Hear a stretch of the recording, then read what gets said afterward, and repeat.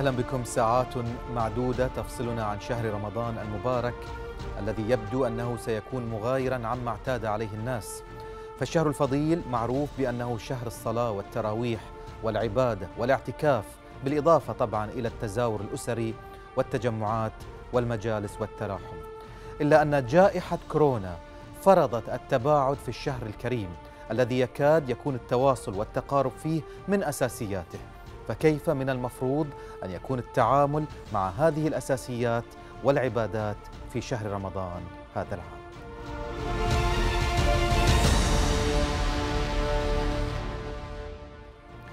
وحول استقبال شهر رمضان المبارك وكيفية آه، التعامل معه وفق الظروف الراهنة.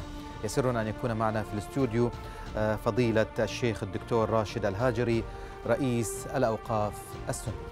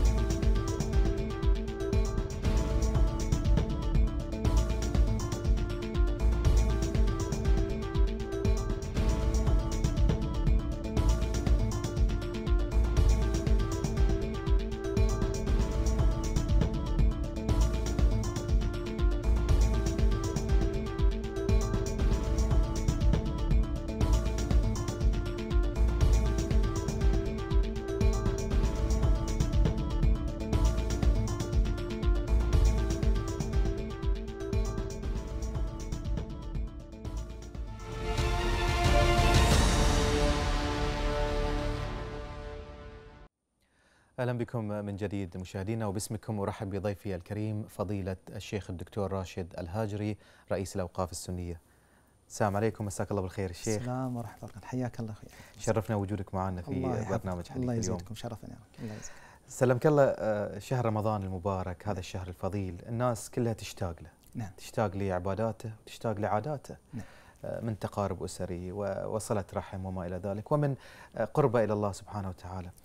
في وسط أجواء مكافحة فيروس كورونا اللي موجود في العالم كله ومن ضمنها دولنا الإسلامية هذه الأمور لن تكون كما كانت في كل عام. كيف نحسن استقبال الشهر الفضيل في هذه الظروف؟ نعم بداية أنا أشكرك وأشكر الزملاء الذي معك في هذا البرنامج. واسمح لي بداية أن أتقدم إلى قيادتنا الرشيدة ممثلة في سيدي صاحب الجلالة وسيدي سمو رئيس الوزراء وسيدي سمو العهد بالتهنئة بقدوم شهر رمضان المبارك. وهذه تهنئة متبوعة وموصولة لشعب البحرين ولعموم المسلمين في كل مكان. ولك أخي علي وللجميع إن شاء الله. جزاك الله خير. آه رمضان لا أعتقد أنه يؤثر فيه أي مؤثر خارجي وذلك للكم الكبير من الروحانيات التي تتخلل هذا الشهر المبارك. بداية لنتفق أولا أن الله سبحانه وتعالى لما خلق الخلق بين الغاية من خلقهم. فقال سبحانه وتعالى وما خلقت الجن والإنس إلا ليعبدون. نعم. فالغاية من خلقنا هي أن نعبد الله تبارك وتعالى. وجعل ربي تبارك وتعالى العبادة تتأثر إيجابيا بحيث تتعاظم الأجور فيها وتتعاظم الحسنات فيها إذا قرنت ببعض الأزمنة الفاضلة. أو ببعض الأمكنة الفاضلة أو ببعض الأحوال الفاضلة. على سبيل المثال شهر رمضان. نبينا عليه الصلاة والسلام قال حديث عظيم ويحتاج المسلم أن يتأمله دائما. يقول فيه عليه الصلاة والسلام افعلوا الخير دهركم. هذا الأصل. افعلوا الخير دهركم. يعني طول عمركم فعلوا الخير. افعلوا الخير دهركم. وتعرضوا لنفحات رحمة الله. فإن لله نفحات من رحمته يصيب بها من يشاء من عباده. المطلوب مني كعبد لله تبارك وتعالى أن أتقرب إلى الله بفعل الخير. لكن في مناسبات. يأتي شهر رمضان العبادة عندي تتغير. يوم الجمعة زمن فاضل العبادة عندي تتغير. نعم. لما أكون في مكان فاضل لما أكون في في في المسجد العبادة فيه تتغير. في المسجد الحرام العبادة تتغير. في مكة العبادة تتغير. كذلك في رمضان اجتمعت فيه هذه الفضائل العظيمة مم. وكم يعني آه، أسعد وأنا أقرأ حديث النبي عليه الصلاة والسلام وأتصوره أمامي وهو يخاطب الصحابة الكرام رضي الله تعالى عنهم وهو يبشرهم بقدوم شهر رمضان ويبين لهم ماذا في رمضان. ماذا في رمضان يقول عليه الصلاة والسلام أتاكم رمضان. ثم بدأ يعدد ماذا في رمضان؟ قال أتاكم رمضان. شهر مبارك. فرض الله عليكم صيامه. فيه تفتح أبواب السماء. وتغلق أبواب الجحيم. وتغل الشياطين. ولله فيه ليلة خير من ألف شهر. من حرم خيرها فقد حرم. لما تأتي مثل هذه الأزمات والمحن أسأل الله سبحانه وتعالى أن يرفع البلاء عن بلادنا وعن سائر بلاد المسلمين وعن العالم أجمعين. اللهم آمين. مثل ما نعيشه اليوم من هذا الفيروس فيروس كورونا وهذا الوباء المنتشر. هل سيؤثر على روحانيات رمضان؟ أقول لا. إذا كان رمضان في وجداننا في أرواحنا في كياننا لن تؤثر فيه. لن تؤثر فيه. والسبب أن الله سبحانه وتعالى تعبدنا في كل مكان وفي كل حال. المسلم أخوي علي المسلم آه، له في كل حال عبودية. في حال الفقر عنده عبودية الصبر. نعم. في حال الغنى عنده عبودية العطاء والكرم. في حال المرض عنده عبودية. في حال الحرب عنده عبودية. في حال الرخاء عنده عبودية. في حال الشدة عنده عبودية. لهذا قال عليه الصلاة والسلام عجبا لأمر المؤمن. إن أمره كله خير. إن أصابته سراء شكر. صبر. إن أصابته سراء شكر فكان خيرا له. وإن أصابته ضراء صبر. صبر فكان خيرا له. ولا يكون ذلك إلا للمؤمن. فهو يتقلب مع هذه الأحوال. فهذه الأزمة التي تعيشها الأمة. وأسأل الله سبحانه وتعالى أن يرفعها عنا جميعا. لن تتضرر بإذن الله تبارك وتعالى بإذن الله. هذه الروحانيات بإذن الله. زين الشيخ اللي يقول يعني إحنا رمضان متعودين نبي نروح صلاة التراويح نبي القيام نعم. آه، نبي آه، مجالس الذكر آه، في ناس تروح العمرة في رمضان وعندها عادة سنوية. نعم. فهذه الناس تقول يعني هل ننحرم من ذي كله؟ هل راح نحرم من هذه كله ومن أجر صلاة الجماعة في رمضان وما إلى ذلك. نعم. آه، أليست بيوتنا مساجد الشيخ؟ هو لا شك أن يعني الإنسان إذا ألف شيء ثم حرم منه لأي سبب من الأسباب يتألم. مم. أي شيء. سواء كان هذا الشيء يتعبد الله به أو شيء من العادات التي اتخذها. ذهابنا إلى المساجد الذي صار لنا الآن سنوات ونحن نذهب إلى المسجد. اليوم حينما تغلق المساجد والجوامع هل هو مؤلم؟ صح مؤلم. يبعث إلى الأسى والحزن نعم. لكن الله سبحانه وتعالى كما قلت في بداية حديثي الله سبحانه وتعالى تعبدنا أن نعبده في كل مكان وفي كل حال. يعني اليوم إذا ما صلينا في المسجد سنتلذذ بإذن الله في الصلاة في البيوت. ولذة الصلاة ومناجاة الله تبارك وتعالى كما تكون في المسجد تكون في البيوت. نعم المسجد له قدسية وله نعم. روحانية وله تأثير.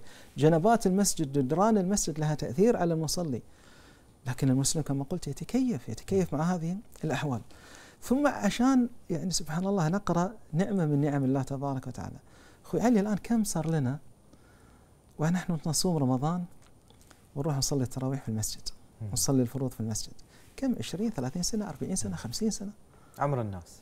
عمر الناس الآن. نعم. يعني لو تسأل واحد من كبار السن الآن هل مر بك أنك يوم سمعت صلوا في رحالكم؟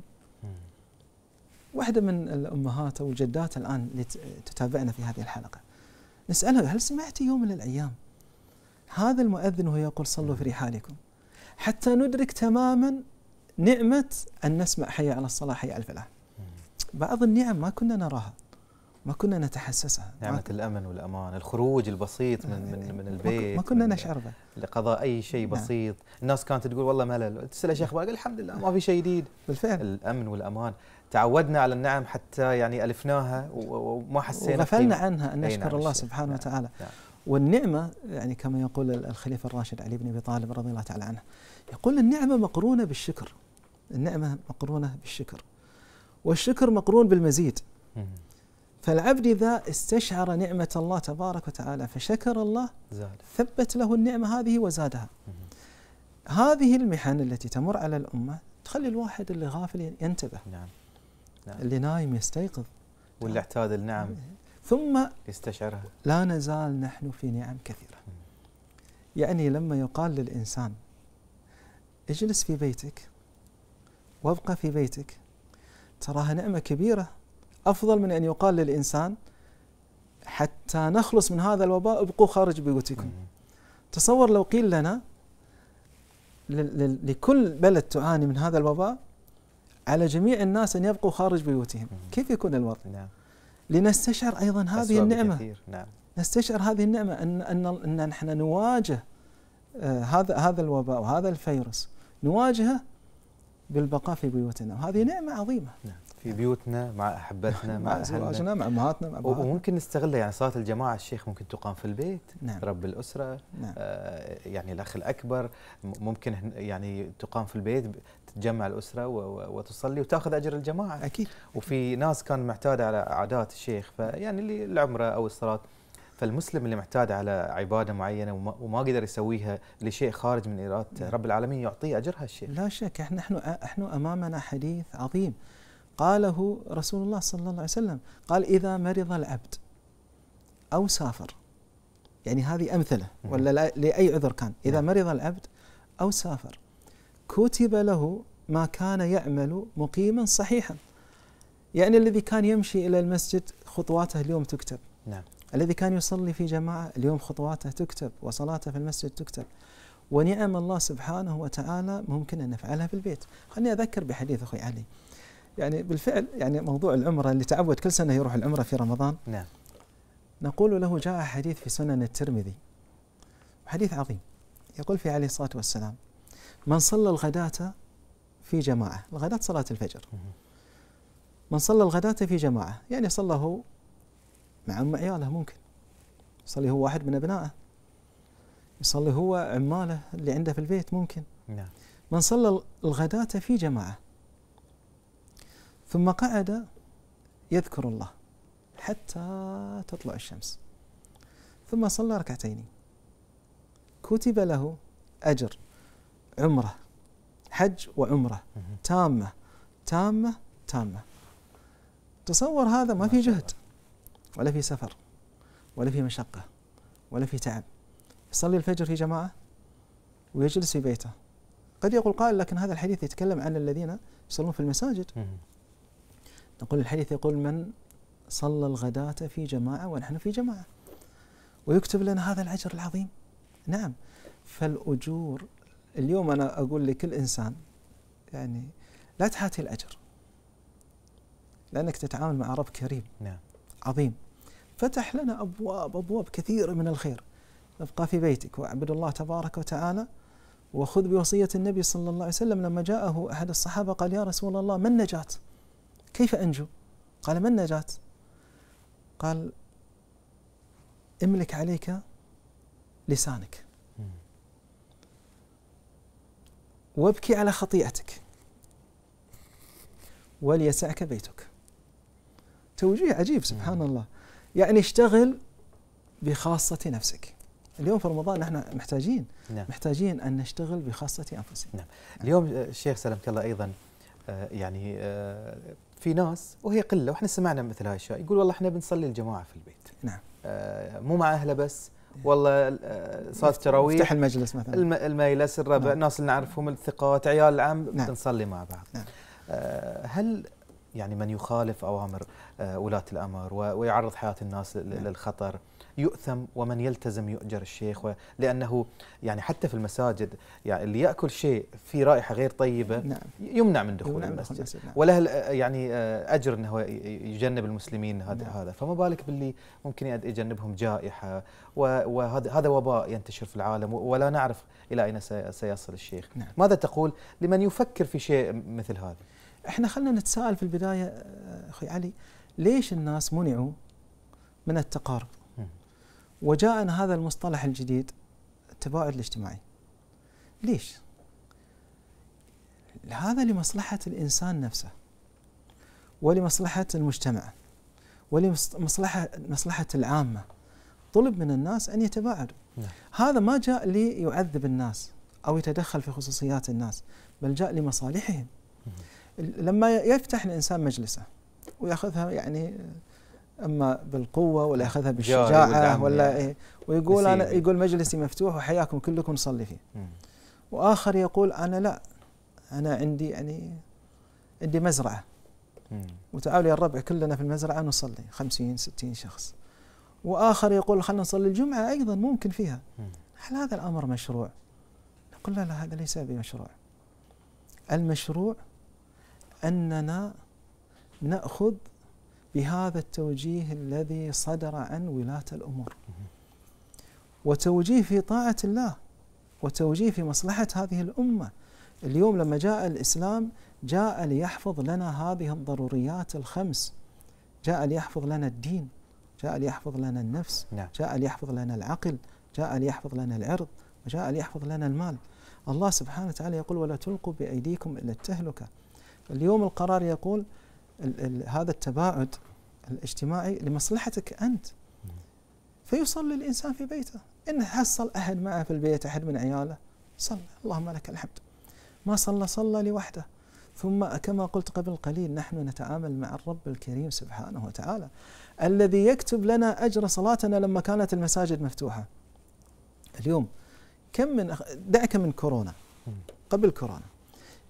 أما كان بعض بعض الناس يعني لا يستطيع أن يصل إلى المسجد. في عندنا ناس ما كانوا يستطيعون المسجد. الذين هم الآن يعني آه، ينامون على الأسرة البيضاء إخواننا من المرضى نسأل الله سبحانه وتعالى يشافي كل مريض. هذا يتأثر ويتألم لكن يقال له يكتب لك الأجر. ما منعك من الوصول إلى المسجد إلا هذا الأمر. فنقول نعم هذه مخالفة والله سبحانه وتعالى يقول يا أيها الذين آمنوا أطيعوا الله وأطيعوا الرسول وأولي الأمر منكم نعم أمرنا الله سبحانه وتعالى بطاعة ولي الأمر وطاعته من طاعة الله وطاعة رسوله صلى الله عليه وسلم نعم. شيخ أيضا لو بنتكلم عن استثمار هذه هذه الوضع اللي إحنا فيه واليوم نعم. بنقعد في بيوتنا في أوقات طويلة الناس كانت في رمضان تصلي لكن تذهب إلى عادات اجتماعية كثيرة نعم. في مجالس وفي مقاهي وغيرها لكن آه اليوم بنقعد في بيتنا فبالتالي نعم. هذه فرصة للأسرة مع الأبناء مع أن تفتح يعني آه، عادات جديدة داخل البيت نكون قدوة لأبنائنا آه، سواء كانوا الأطفال الصغار سواء كانوا المراهقين سواء نعم. آه، يعني كانوا البنات أن تقترب الأسرة من بعض أكثر وفي رمضان هذه الروحانية وهي نعم. الأجواء إذا ما كان راح يكون في هذا التلاحم الأسري مع الأسرة الكبيرة يعني ممكن نخليه بيننا وبين بعض في نعم. أسرتنا الشيخ نعم. ماذا تقول يعني في في في الوضع الأسري وتربية الأبناء في هذا الوضع اولا يعني كلامك 100% صحيح. يعني هذه الأزمات تهيئ لنا نعم كثيرة. بقائي مدة طويلة في البيت. لا شك أنه فرصة لأن أستثمر مع الله سبحانه وتعالى أكثر. أستثمر في قراءة القرآن. أستثمر في الذكر. أستثمر في الصلوات. أستثمر في الجلوس مع أهلي أهل بيتي زوجتي أبنائي. يا أخي اليوم الله سبحانه وتعالى أعطانا نعمة هذه التقنيات الموجودة الحادثة اليوم بهذه الوسائل الاتصال بالإمكان اليوم عبر هذه الشبكات أن نجلس سويا يجلس الإخوان كلهم في مجلس واحد وكل واحد في بيته. لكن أمام شاشة بعض الحواسب الموجودة أو التلفزيون يشاهد بعضهم بعضا ويتحدثون ويتكلمون وكأنهم في مجلس واحد. واليوم يعني أغلب إجراءات ومعاملات الدولة قائمة على هذا التواصل المرئي. نعم. لماذا لا نستخدم مثل هذه الأمور؟ ثم أنا أجدها فرصة كبيرة للخلوة. حصلت فرصة اليوم. يعني اليوم ما حد يعني قد يعتب علي إنك ما زرتني في رمضان ولا حضرت مجلس فلان. يعني كم كنا نسمع من يشتكي من الإحراج الذي يقع عليه كل رمضان في الذهاب إلى المجالس؟ اليوم ما شاء الله كثيرة اليوم نقول له رفع الحرج عنك. مجالسنا في البحرين كثيرة. نعم. وعرفت البحرين بهذه المجالس من القدم. نعم. لكن بعضهم قد يقول أنا من كثر ما يعني أحرج ما أجد وقت أزور كل الناس. م. اليوم رفع عنك الحرج. قيل لك اجلس في البيت. استثمر هذه الخلوة بينك وبين الله سبحانه وتعالى. رمضان 30 يوم أو 29 يوم. استثمر ساعاته لا أقول أيامه بل يستثمر الإنسان دقائقه التي فيه. وأعظم ما يستثمر فيه نهار رمضان وليل رمضان الذكر. الذكر.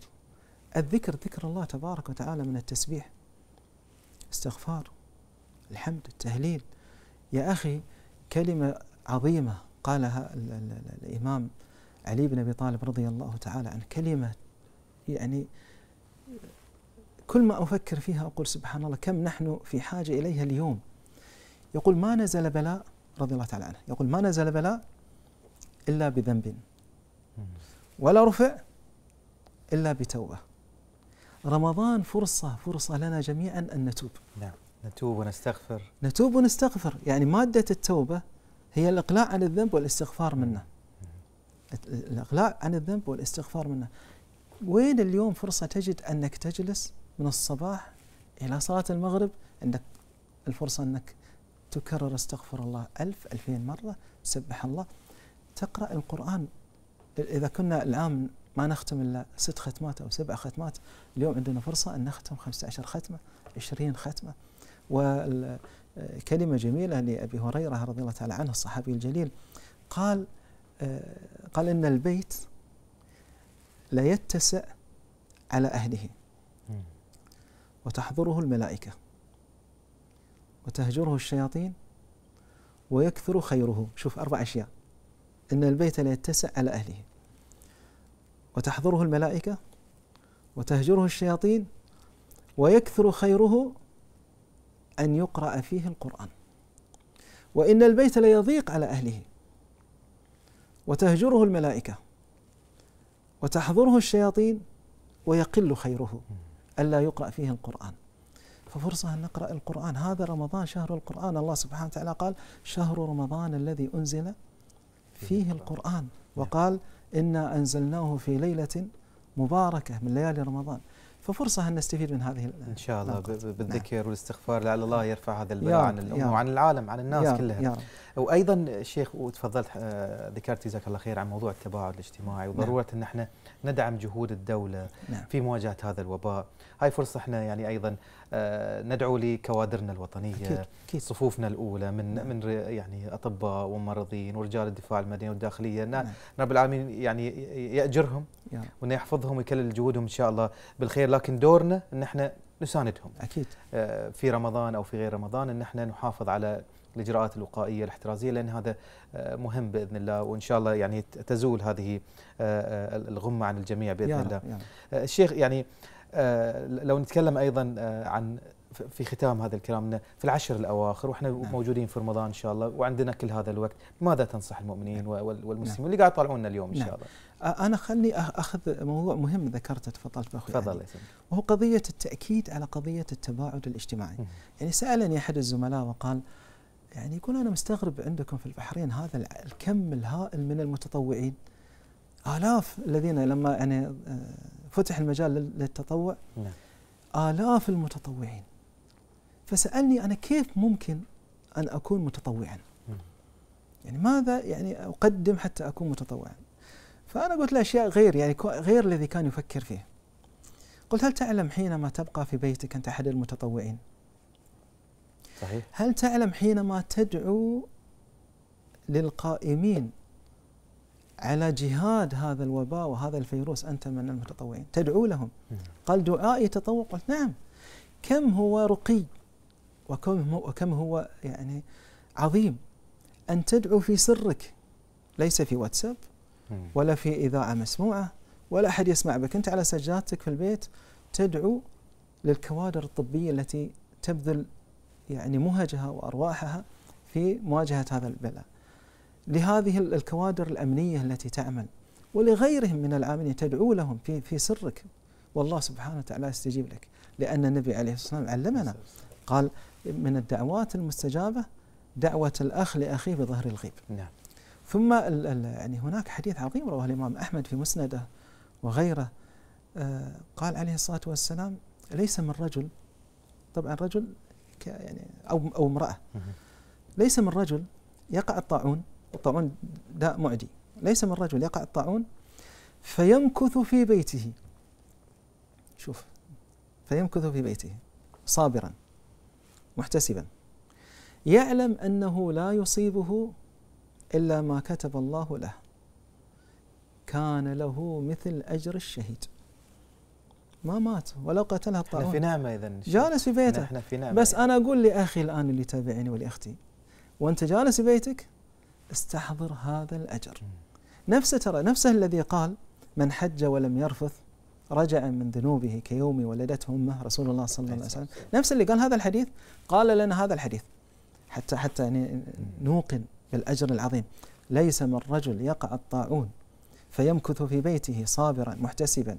يعلم أنه لا يصيبه إلا ما كتب الله له إلا كان له مثل أجر الشهيد. عظيمة. الله يجعلنا كلنا من, يا رب. من هؤلاء الشيخ. يا رب. دائما واللي تفضلت فيه الحديث كل أمر المؤمن خير يعني إيه كل نعم أمر نعم. المؤمن خير. هل من نعم. كلمة أخيرة فضيلة الشيخ؟ أنا أنا أشكركم على هذا اللقاء وأسأل الله سبحانه وتعالى أن يرفع هذه القمة عن الأمة أجمعين وعن العالم أجمعين. وأهنئكم بقدوم شهر رمضان المبارك وأهنئ كما قلت في بداية حديثي قيادتنا الرشيدة. أسأل الله سبحانه وتعالى أن يبارك في جهود الجميع. أنا شاكر حضورك طويل العمر. آه، مبارك لك الشهر الفضيل. الله يبارك. الله يجعلنا إن شاء الله من من يقوم ويصوم بإذن الله. شاكر لك. كما أشكركم آه، مشاهدينا الكرام على حسن المتابعة. هذه هي الحلقة الأخيرة في هذا الموسم. نأمل إن شاء الله أن نلتقي معكم في الموسم القادم بعد رمضان. في حفظ الله ورعايته أترككم ونلتقي إن شاء الله على خير. في أمان الله.